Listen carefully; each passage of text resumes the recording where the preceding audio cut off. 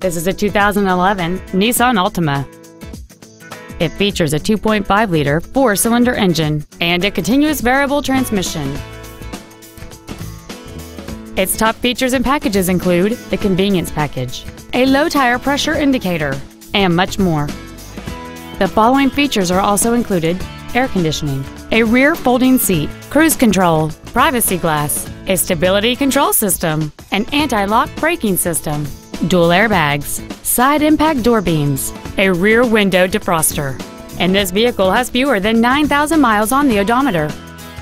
With an EPA estimated rating of 32 miles per gallon on the highway, fuel efficiency does not take a backseat.